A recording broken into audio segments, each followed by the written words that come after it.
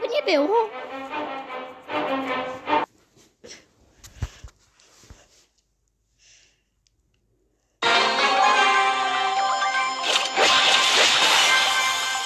Rosa is my name, Botany's my game.